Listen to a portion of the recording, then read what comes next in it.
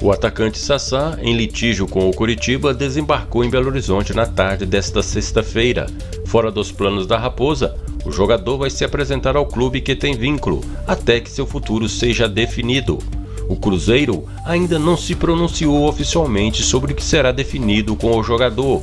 O acerto do retorno já tinha ocorrido há alguns dias. O técnico Ney Franco já informou que não pretende contar com o atacante para a disputa da Série B.